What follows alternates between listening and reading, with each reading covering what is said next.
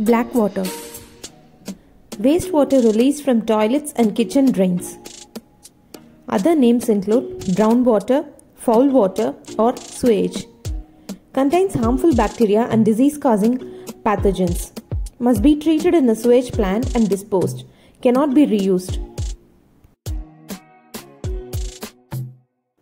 Grey water. Wastewater generated from domestic activities like bathing, laundry, etc.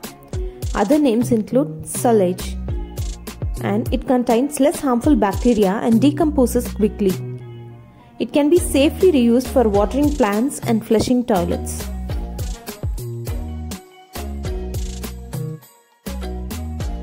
For more interesting videos, please like, share and subscribe to Genze Kids. Thank you.